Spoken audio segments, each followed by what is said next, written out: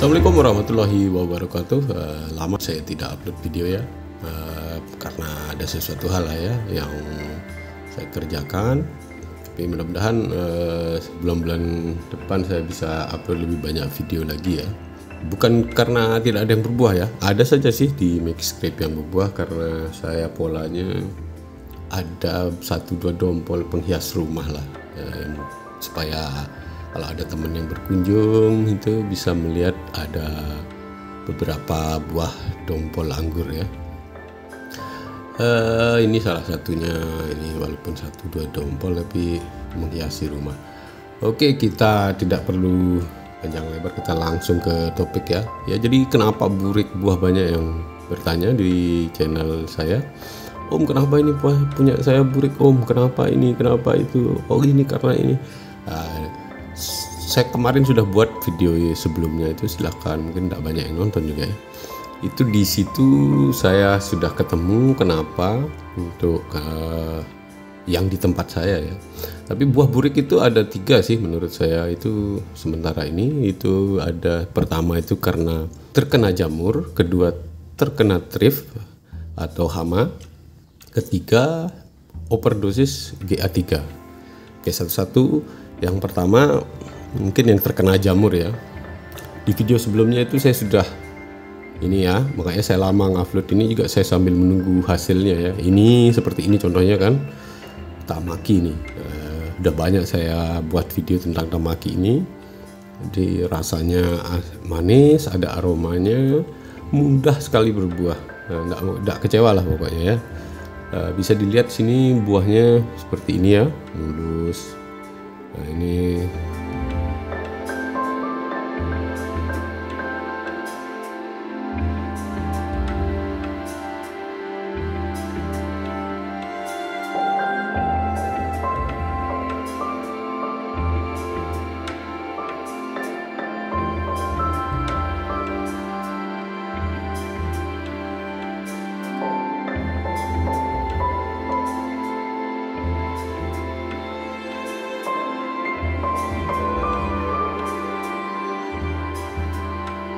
terlihat mulus. Ya ini batang langsung ke tanah ya tanamnya groundingnya ini batang primernya sekunder ini naik ke atas.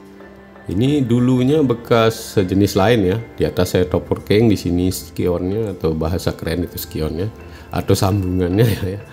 Nah, disambung saya buat percabangan saya pangkas. Nah seperti ini hasilnya. Pangkas sekali langsung berbuah loh ya keren ini tamaki uh, silahkan berburu bagi yang belum punya. Saya sarankan sangat-sangat rekomend menurut saya. Oke lanjut ke ini. Jadi terlihat di sini mulus ya batangnya ujungnya itu tanpa ada luka. Nah ini contoh pohon sehat ya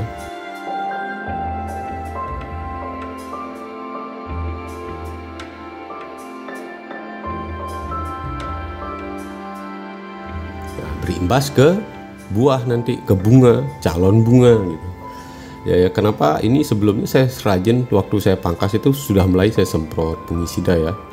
Jadi sebelum dia batnya pecah pun sudah saya aplikasikan penggunaan fungisida setelah pungi eh, setelah sprout keluar bunga sebelum jadi berry saya berani semprot tapi dengan dosis yang biasa saya pakai. Nah ini mungkin bedanya dengan teman-teman. Jangan mencoba atau jangan langsung sikat dengan fungisida. Mungkin tidak cocok ya beda-beda. Pastikan bahwa dia pohon tidak apa-apa dengan dosis yang kita gunakan atau menggunakan uh, petunjuk yang di kemasan ya. Nah, jadi mau posisi berbunga mau uh, tidak berbunga dia tidak pengisidanya tidak mengakibatkan pohon kita uh, sakit ya atau overdosis ya. Setelah bunga menjadi berry, saya semprot lagi. Uh, mungkin tiga empat hari ya saya semprot lagi. Itu maksudnya supaya tidak terkena jamur dan benar. Nah, seperti ini hasilnya. Uh, fase seperti ini kalau dia mulus sampai besar pasti mulus perhatikan saja nanti punya teman-teman kalau dari kecil itu sudah ada setitik e, luka besok kalau sudah berinya membesar lukanya juga akan membesar. Jadi itu yang mengakibatkan buah terlihat buriknya. Burik tidak bagus ya. Ya jadi silahkan tonton video sebelumnya ya kalau mau uh, bagaimana cara cara saya ini ya. Enggak, enggak terlalu detail cuma uh, intinya di situ saya menggunakan ini karena terdeteksinya menyerang batang ya, biasanya kalau jamur kan kita uh, memeriksa daun saja ya, yang paling mudah itu yang kuning-kuning di bawah daun itu karat daun itu sederhana itu pakai satu merek aja sudah bisa teratasi ya nah ini terkena di batangnya dan uh, ujung-ujung atau pucuk mudanya. Nah, ini bahaya kalau sudah kena pucuk mudanya. Nanti kalau ada tumbuh pucuk baru lagi, dia akan terserang lagi. Nah, jadi di sini bukan perkara uh, jenis atau merek yang uh, fungisida yang digunakan, bukan mereknya ya, tapi kandungan aktif bahan aktif yang ada di fungisidanya. Nah, dulunya saya hanya menggunakan uh, satu bahan aktif, mungkin resisten ya, ya ininya jamur ya ada timbul jamur baru lagi yang kita tidak tahu. Kalau skala hobi kan kita tidak terlalu detail tahu uh, ini jenis apa apa apa jamur yang penting bahan aktif satu itu tidak cukup ternyata kita dulu Amistar Top bahan aktifnya ini ya, setelah itu dengan mencoba bahan aktif lain saya merek merek apa pun mereknya ya, ya yang saya coba ini dengan bahan aktif Mangkosep itu saya aplikasikan uh, untuk pencegahan satu minggu sekali. Tapi kalau ada pengobatan seminggu dua kali bisa. Ya, kalau saya dua seminggu dua kali kemarin. Dan fase bunga saya semprot lagi. Nah, ya, jadi tonton video sebelumnya kalau mau ini. Nah itu saja mungkin selang-seling bisa Amistar sama Angkosep. Nah, kalau menggunakan uh, bahan alami ya saya saya tidak sampai situ ya mungkin anunya uh, karena saya berdasarkan pengalaman saya saja yang bisa diterapkan atau bisa dicontoh jadi kalau tadi saya memberi contoh tapi saya tidak menggunakan bahan alami tapi saya tidak ada bukti ya susah juga ya. Mungkin kalau dengan bahan alami lebih baik bisa saja digunakan. Tidak masalah sih. Yang penting hasilnya kan yang itu dan yang ketiga ya langsung eh yang kedua ya trip. Nah kalau trip eh, saya sudah biasa trip itu hama kecil ya tidak terdeteksi dengan mata. Itu memang mengakibatkan pucuk dan daun jadi keriting ya.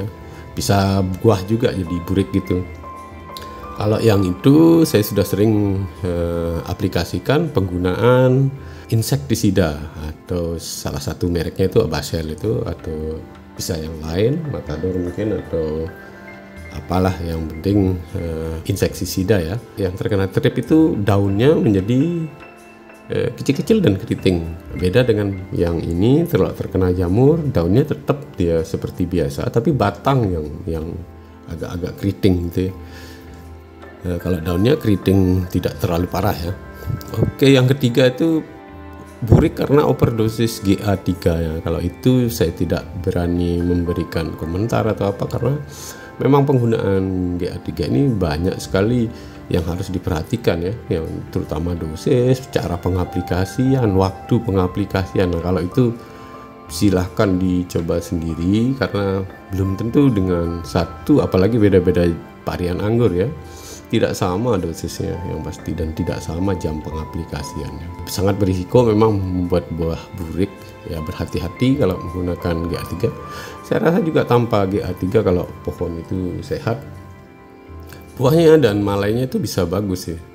Tapi kalau memang kita pengen yang lebih ini yang kalau mau dengar risiko sendiri ya tidak masalah menggunakan uh, eh, GA3 ini contoh yang terlambat kemarinnya aplikasinya uh, aplikasi pengisidanya ini Sansekerta ya. Tapi ini lagi berbunga lagi ya uh, saya mau mengaplikasikan ini uh, penggunaan fungisida ini. Bisa dilihat di sini ya uh, memang ada yang uh, terkena. Sini terlambat ini seperti ini contohnya ini burik ini tapi bisa dibuang ya jadi kalau ini sebenarnya kalau dari awal saya semprot bisa bagus ini. Ya ini bisa kita lihat ya batangnya ini bersih tanpa jamur. Ini peles terlambat disemprot. Ya begini hasilnya seperti ini. Kalau ini yang sudah disemprot oke semoga bermanfaat video saya. Saya terima kasih. Mudah-mudahan saya bisa cepet-cepet buat video yang lainnya lagi atau update yang lain lagi. Assalamualaikum warahmatullahi wabarakatuh. Eh jangan lupa untuk subscribe ya biar tambah rajin ini buat videonya. Oke terima kasih. Assalamualaikum warahmatullahi wabarakatuh